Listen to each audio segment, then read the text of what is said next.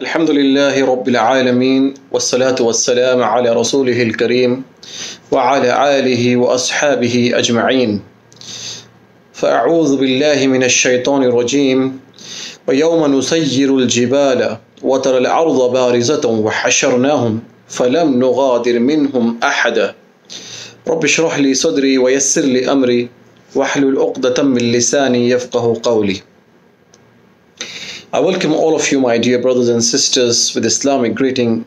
Assalamu alaikum wa rahmatullahi wa barakatuh. We begin today's session in continuation with the series Year to Hereafter. Yesterday we discussed about the day of resurrection, the trumpet, the blowing of the trumpet. And today's topic of our, of our discussion is the gathering, the day of Yawm al Qiyamah, al Yawm al Hashr, when the people will be gathered, when all the creation of Allah subhanahu wa ta'ala will be gathered at one place. All praises are due to Allah subhanahu wa ta'ala, the Lord of the worlds who created us, who gave us life, who had mercy on us, and who sent his messenger, his beloved prophet Muhammad sallallahu alaihi wasallam. I testify that there is none worthy of worship except Allah subhanahu wa ta'ala, and that Muhammad sallallahu alaihi wasallam is the slave and messenger of Allah. The day of Yawm al-Hashr, the day of Hashr, the day of Yawm al-Qiyamah, when the people will be gathered, no human being shall be spared the, in the assembly in the land of al-Hashr, the gathering on the day of resurrection. All the believers and the disbelievers, the pious and the sinners, even the prophets of Allah subhanahu wa ta'ala, those who are the most honorable among the mankind shall be assembled in the land of gathering. Allah subhanahu wa ta'ala says in the glorious Quran in Surah Al-Kahf قال الله تعالى ويوم نسير الجبال وترى الأرض بارزة وحشرناهم فلم نغادر منهم أحدا and Allah subhanahu wa ta'ala says the meaning of which is that on that day, one of that day when we will remove the mountains and you will see the earth prominent and we will gather them and will not leave behind from them anyone. Allah subhanahu wa ta'ala says, فَلَمْ نُغَادِرْ مِنْهُمْ أَحَدًا Allah will not leave behind anyone.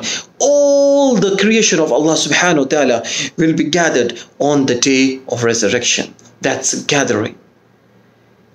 Ibn Kathir rahimahullah, may Allah have mercy on him, he mentioned in his book and he quoted the ayah from the Quran and he mentioned that Allah subhanahu wa ta'ala says in the Quran إن في ذلك لآية لمن خاف عذاب الآخرة ذلك يوم مجموع له الناس وذلك يوم مشهود Then Allah subhanahu wa ta'ala he says that surely in this is a sign for those who fear the torment, the punishment of the hereafter.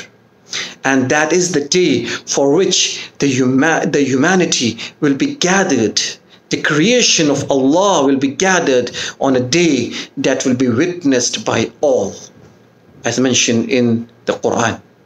This means that all of the mankind, all the creation of Allah will be gathered on the day of resurrection.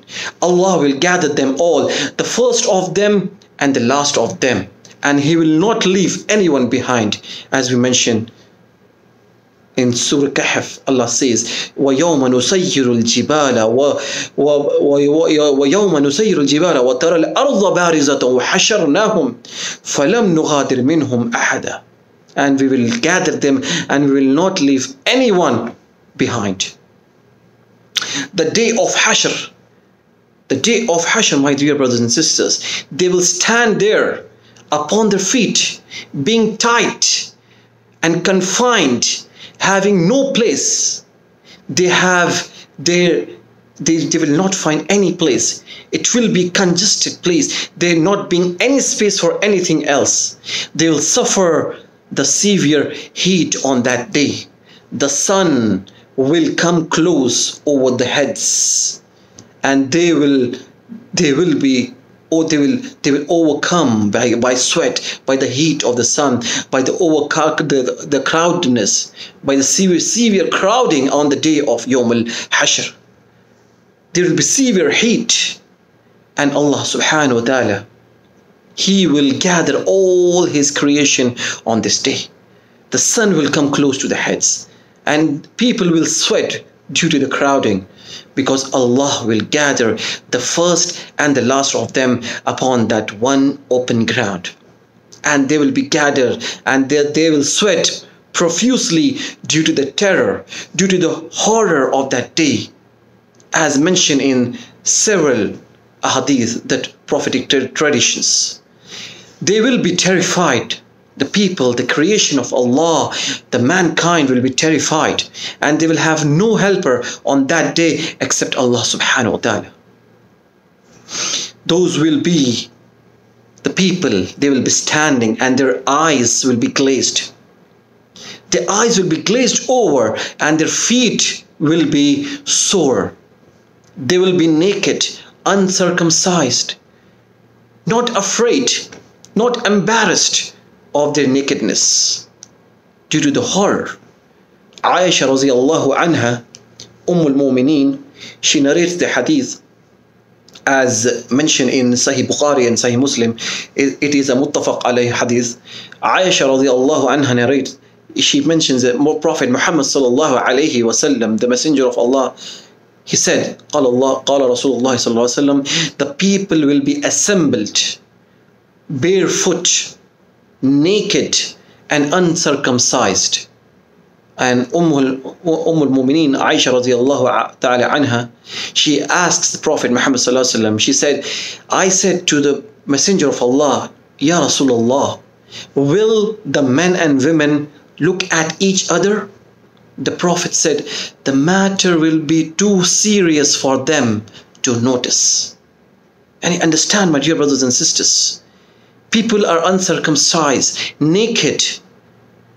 And Aisha radiallahu anha asked Prophet Muhammad that will the men and women look at each other? The Prophet says that due to the terror, due to the horror of Yawm al-Qiyamah, Yawm al-Hashr, the seriousness of it is so much that they will not notice each other. This is the authentic muttafaq alayh hadith mentioned in Bukhari and Sahih Muslim. The standing on that day, my brothers and sisters, will last for 50,000 years. Sheikh Muhammad bin Salih al Uthaymeen, rahimullah, may Allah have mercy on him. He said that the day of reckoning, the day of Hashr, the day of Yom al Qiyamah, is basically one day.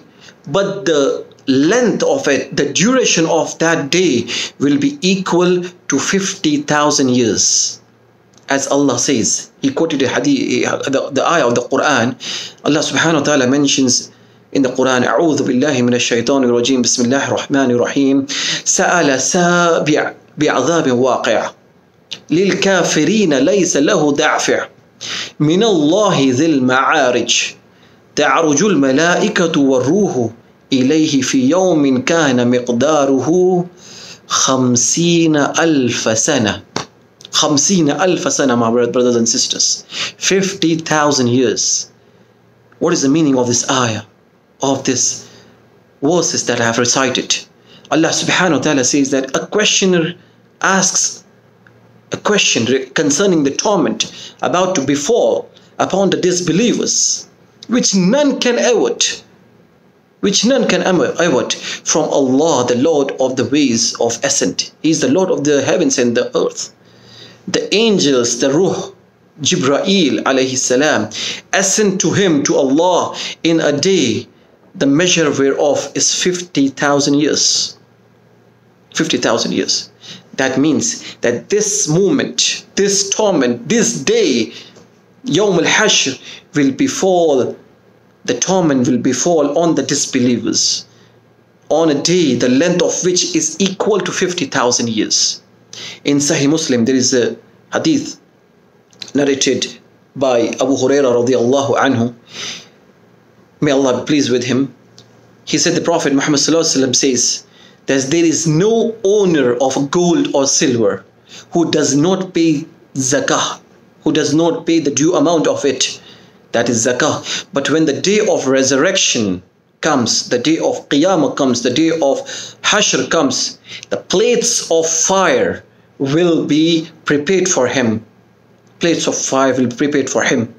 And and with them he will be branded in his forehead and his flanks and his back will be branded by that the plates of fire and every time they get cool, they will be reheated and he will be punished again. The Prophet Muhammad he says, Rasulullah, he says in the same hadith that on the same day, on the day, the length of which is equal to 50,000 years until the judgment is passed amongst people. This is the long day. That is the long period and is a day that is that will be heard that will be that will be a difficult day for the kafirs as Allah subhanahu wa ta'ala mentions in the Quran وَكَانَ يَوْمًا عَلَى الْكَافِرِينَ عَسِيرًا وَكَانَ يَوْمًا عَلَى الْكَافِرِينَ عَسِيرًا that it will be a difficult day a hard day for the disbelievers mentioned in Surah Furqan ayah number 26 and Allah subhanahu wa ta'ala mentions a similar message in another place in Surah Muddathir, Surah number 74, ayah number 9 to 10, where Allah subhanahu wa ta'ala says, فَذَلِكَ يَوْمَئِذٍ يَوْمٌ عَسِيرٌ عَلَى الْكَافِرِينَ غَيْرُ يَسِيرٌ Truly the day will be hard. The day will be hard day for far from easy for disbelievers.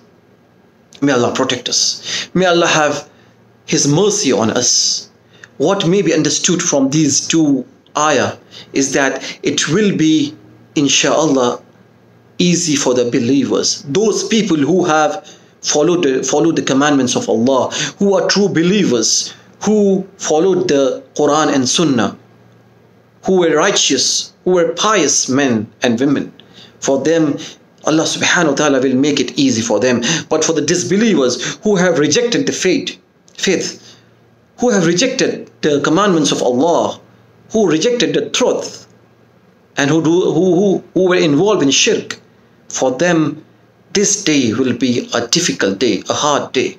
And that is indeed the case. For this long day, with its horrors, its seriousness, the terror of this day, the serious matters that will be made easy by Allah only for the believers, believers, but for the kafir, it will be difficult and hard enough. I ask Allah subhanahu wa ta'ala to make me and you, all Muslim brothers and sisters, among those for whom Allah will make the day of resurrection, the day of Hashr, easy. That is the day which will be witnessed. This day will be witnessed, my brothers and sisters, by the creation.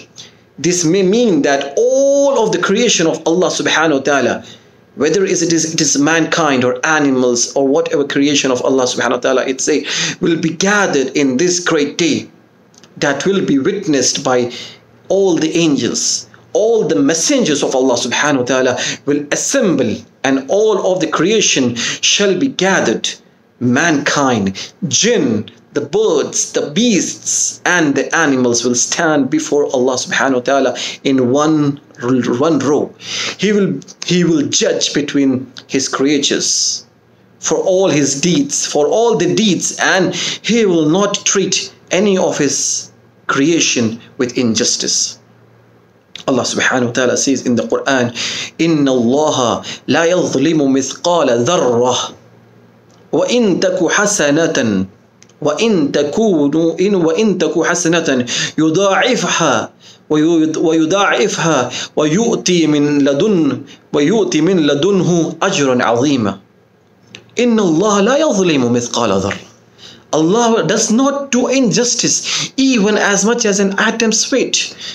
However, if there is a good deed, Allah subhanahu wa ta'ala, He multiplies it and gives for Himself a great reward. Allah subhanahu wa ta'ala does not wrong, not even with an with weight of a speck of dust.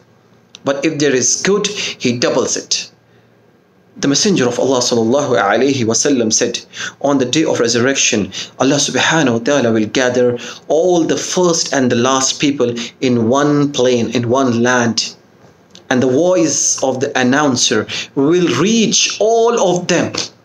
And one will be able to see all of them. And the sun will come closer to them. Mentioned in Sahih Bukhari and Muslim. Ibn Uthaymin rahimahullah, he mentions that may Allah have mercy on him. He wrote, he writes in his book, that, and he narrates the hadith, and the hadith reads as that this is the this is your nation, and amongst them are seventy thousand people. The Prophet Muhammad he mentioned in the hadith, and the hadith is uh, uh, mentioned in Riyadh al-Salihin, and in the Sharah, in the explanation of Riyadh al-Salihin, Sheikh Ibn Uthaymin, rahimahullah, he he he mentioned this hadith and he says that there are in the in the nation, in the Muslim nation, there are seventy thousand people who will be made to enter the Jannah without accountability, without any torment, without any punishment. This means that the 70,000 people from amongst the Muslim nation will be admitted to paradise, will be admitted to Jannah directly, without reckoning or any punishment they will be resurrected and assembled in the land of gathering and directly enter the Jannah without anything, without any accountability. I pray to Allah subhanahu wa ta'ala, may Allah make me and you among these 70,000 people. Ameen. Those who will be admitted to the Jannah without reckoning will be the first be gathered with all the mankind in the land of gathering the only difference among people on that day will be in the manner and the effect of assembly. Some people will be known, will be honored, and will be gathered and safeguarded from the harms and the punishment and the torment of the Yom al-Qiyamah, Yom al-Hashr. And certain people will be shaded in the shade of the throne of Allah subhanahu wa ta'ala. As we get to know through the authentic hadith. And some will get certain kind of rewards and will be forgiven by Allah subhanahu wa ta'ala on Yawm al-Qiyamah, Yawm al-Hashr. Allah subhanahu wa ta'ala mentions in the Quran, أعوذ بالله من الشيطان الرجيم يوم نحشر المتقين إلى الرحمن يوم نحشرون يوم يوم نحشر المتقين إلى الرحمن وفدا ونسوق المجرمين إلى جهنم وردا in Surah Maryam, ayah number 85 and 86. The meaning of which is, is Allah subhanahu wa ta'ala says, the exalted Allah subhanahu wa ta'ala. On that day, he, we, we will gather the righteous to the most merciful as a delegation with an honor. And we will drive the criminals, the disbelievers, the people who disbelieve in Allah, in Allah and who rejected the truth, the criminals, they will be taken to the hell in thirst on this day, on this day, the day of resurrection, my brothers and sisters, Allah will gather not only the mankind, even the animals. The scores will among the animals, will, will, among them will be settled. Then it will be said to them, Be dust. Be dust, and they will become dust. And at this point, the kafir will say, as mentioned in Surah Naba, the kafir will say, وَيَقُولُ الْكَافِرُ يَا لَيْتَنِي كُنْتُ تُرَابًا Allah subhanahu wa ta'ala mentions in Surah Naba, إِنَّا أَنذَرْنَاكُمْ عَذَابًا قَرِيبًا يوم ينظر المرء ما قدمت يداه ويقول الكافر يا ليتني كنت ترابا How it was, would that be I wore, I wear a dust. And uh, this ayah says that indeed we have warned you of an of a, of a torment, of a punishment. The day every person will see the consequences of what they have done in the world, in the on the earth, and the disbelievers will cry out. They will say, "I wish I were dust." Allah Subhanahu wa Taala calls the day of resurrection the day of gathering, because Allah will gather His slaves, mankind, and the jinn everyone, Allah says, indeed in that there is sure a lesson for those who fear the torment of hereafter. In Surah Hud, Surah number 11, ayah number 103. That is the day wherein all the mankind will be gathered together, and that is the day when all the dwellers of heavens and the earth will be present. So, O Muhammad O Prophet of Allah, verily those of the old and those of the later times, Allah mentions in Surah Waqiyah, all will surely be gathered together for appointed meeting of a known day. Allah subhanahu wa ta'ala will gather. There is none in the heavens and the earth but comes unto the most gracious as a slave. Verily he knows each of them and he has counted them of full of counting. Also included in these gatherings are the animals. Sheikh al-Islam Ibn Taymiyyah rahimahullah, he says that as for the animals, they will be all gathered by Allah as is indicated by the Quran and Sunnah. Allah subhanahu wa ta'ala mentions in the Quran in Surah An'am, there is not a moving living creature on the earth nor a bird that flies with its two wings, but are but are communities like you. We have neglect, neglected nothing in the book in the Quran. Then unto their Lord they all shall be gathered, and we will and and and you know. Uh, uh, in Surah Takwir, Allah subhanahu wa ta'ala mentions that when the wild beasts will be gathered together. That is also mentioned. وَمِنْ آيَاتِهِ So Allah subhanahu wa ta'ala mentions وَمِنْ آيَاتِهِ خَلَقُ السَّمَاوَاتِ وَالْأَرْضِ وَمَا بَثَّ فِيهِمَا مِنْ دَابَّةٍ وَهُوَ عَلَى جَمْعِهِمْ إِذَا يَشَاءُ قَدِيرٌ and among his ayah, among his signs, the proofs, is the creations of the heavens and the earth. And whatever moving creatures He, Allah, has dispersed in them both, He will He is all potent over over over their assembling, over gathering them on the day of resurrection, after their death and dispersion of their bodies, whenever He will, whenever Allah wills, whenever Allah wills. Mentioned in Surah Shura. The word idha translated here in this ayah in Surah Shura, it, it means when or whenever, referring to something that will inevitably come to pass. And there are many, there are many well-known hadiths on this topic, on the day of resurrection. Allah subhanahu wa ta'ala will gather the animals and the scores among them will be settled. Then it will be said to them that be dust, as we mentioned. And there is a hadith narrated by Abu Dharr Al-Ghafari radiallahu anhu in Musnad, Musnad al-Ahmad where the messenger of Allah sallallahu alayhi wasallam he was sitting and two sheeps they like usually those two sheeps they fight with their horns. So the two sheeps locked their horns and one of them butted the other and defeated it. The messenger of Allah sallallahu alaihi wasallam he smiled and it was said to him the sahaba they said to him why are you smiling o rasulullah? The prophet of Allah, he said, Because of the sheep, the one in whose hand my soul is, that is Allah, will settle its score with the other one on the day of resurrection.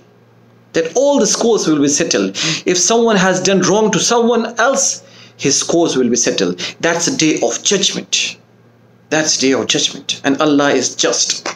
Another hadith mentioned in Sahih al-Muslim where uh, Abu Hurairah radiallahu anhu mentions and he narrates the messenger of Allah sallallahu he said all the rights will be sort, sorted on the day of resurrection on the day of judgment until even the hornless sheep will settle its scores with the one that has horns.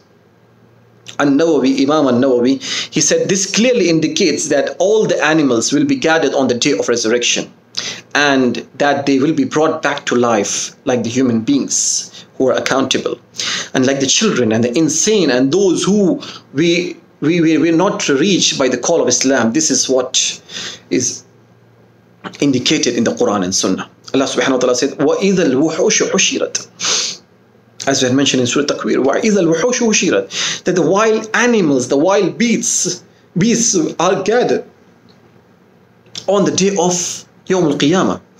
And it is narrated in the hadith that the people will be resurrected in the clothes in which they died. It was narrated by Abu Sa'id al-Khudri radiallahu anhu that he was dying and he called new he, he called for new clothes he asked for new clothes and put on him put put them on then he said that I heard the Messenger of Allah sallallahu wasallam saying that the deceased will be resurrected in the clothes in which he died. Narrated in uh, Abu Dawood and it's Sahih Hadith, Sahih by Sheikh Albani rahimullah. This hadith may seem to be little contradiction and contradict the other hadith which says that they will be resurrected naked. However, the scholars of hadith have reconciled and said that hadith is sahih, it's correct and, correct and authentic hadith. The reconciliation has been done between the two reports by, uh, they have given several points. The first one, uh, to reconcile the hadith, the scholars have said that that people will be raised in those garments, but they will wear out after resurrection, after the day of resurrection. And when they reach the place of standing, they will be naked. They will be naked. They will be raised naked. Then, when the prophets, like the second point they mentioned, that they will be raised, raised naked. But when the prophets and the Siddiqun and, and the Shuhada have been clothed, everyone else will be clothed in the same kind of clothes as in which they have died. And some of the scholars interpreted this hadith as referring to the martyrs, the shuhada, because they are the ones when the Prophet, the, to, to whom the Prophet Muhammad وسلم, he said and commanded that uh, the shuhada, the shaheed, people who are martyr, who get martyr, they should be buried in the clothes in which they died. So they will be resurrected in their clothes and in order to distinguish them from others. So what is meant by the clothes is it, it might be the scholars have said it, it are those are the righteous deeds as a, uh, also. Like Allah subhanahu wa ta'ala mentions in uh, in Surah Araf that Allah says that the raiment of righteousness the clothes of righteousness that is better for you and purify your garments. So people who are who die in the clothes what they are wearing will be resurrected on those clothes. So be righteous that it might be righteous clothes. And also people will be resurrected, resurrected. The people will be resurrected according to what in what situation they had they die and that's and what is meant by that? What is what is meant by person being resurrected according to what he was doing when he died? It means that uh, that if his final action was good his final deed was on righteousness, on piousness, then it will be good for him in the hereafter as well. And if it was bad, if it, if it was evil, his last action and deed was evil for him, then it will be a bad time for him. This is indicated in the hadith of Jabir radiallahu anhu who said the messenger of Allah sallallahu alaihi wasallam he he heard I, he said I heard the prophet of Allah sallallahu alaihi wasallam say every person will be resurrected in the manner that he died. A sahih muslim mentioned in sahih muslim. And ibn umar radiallahu anhu he mentions a hadith which is narrated in al-bukhari where he said the messenger of Allah said when Allah sends down the, uh, when Allah subhanahu wa ta'ala sent down the punishment upon people, the punishment also befalls those who were among them. Then they will be resurrected according to their deeds. When Allah sends down punishment upon people, the punishment also befalls those who were among them, then they will be resurrected according to their deeds. This is also indicated by hadith of Ibn Abbas radiallahu anhu, who um, hadith mentioned in uh, Sahih al-Bukhari, uh, Ibn Abbas radiallahu anhu, he said that whilst a man was in the day of Arafah, he fell down and he broke his neck. He, his neck was broken. The Prophet Muhammad sallallahu he said, wash him and water with water and lotus leaves and shroud him in the two garments but do not apply perfume or cover his head for he will be raised on the day of resurrection reciting talbiyah reciting the talbiyah labbaik Allahumma labbaik. And it was narrated from Abu Huraira radiallahu anhu. These are the several ahadiths, the prophetic traditions, all mentions about Yawm al-Qiyamah, how people will be resurrected, what kind of clothing and what kind of deeds. All this is narrated in the Sahih ahadith, in Sahih Bukhari and Sahih Muslim. So this another hadith mentioned in Sahih al-Bukhari uh, where Abu Hurairah radiallahu anhu, he says the Prophet Muhammad said, every wound that a Muslim receives, every wound that a Muslim receives for the sake of Allah will appear on the day of resurrection. as it was at the time when he was inflicted. Blood will be flowing from his from the wound, and the color will be that of of the blood will be will be visible, but the smell of the blood, the, it will be the fragrance of musk. The smell of the blood, it will be fragrance of musk. This hadith is mentioned in Al Bukhari and scholars of Islam they they quoted all these hadiths and they mentioned that the deeds which you do and if you die on those deeds so you will be resurrected according to those deeds so they said it is mustahab that it is highly recommended that the dying person should recite the kalima la ilaha illallah while dying one is highly encouraged that if a person is dying, he should say the La ilaha illallah so that these good words will be his last, last words in this world and he will be raised saying them on the day of resurrection. This is mentioned in Fath al Bari. And in conclusion, my dear brothers and sisters, in conclusion, I want to say that the last day is one day and it will be a difficult day, hard day for the kafirs. And inshallah, it will be easy day for the believers. What has been narrated about the various kinds of punishments and the rewards is a matter which cannot be fully understood in this world, even though the basic meanings may be known to us in this world. But it is very clear in the Quran and Sunnah about the rewards and the punishments, about the situation of Yom al-Qiyamah, situation of Yom al-Hashr, how people will be gathered. We need to take a lesson from the Quran. We need to have a tazkiyah of ourselves. We need to understand and realize and prepare ourselves for the Yom al-Hashr. That what have we done for it? How we will be resurrected? How are we going to face Allah subhanahu wa ta'ala on Yom al-Hashr?